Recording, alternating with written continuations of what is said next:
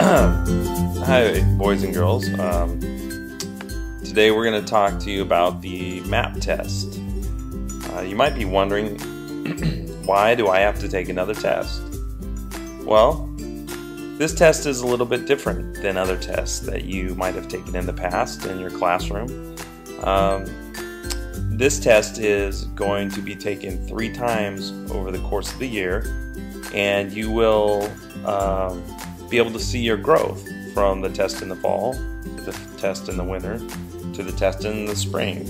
And so um, your teacher can see that growth and um, help adjust uh, his or her instruction so that you can learn what you need to learn.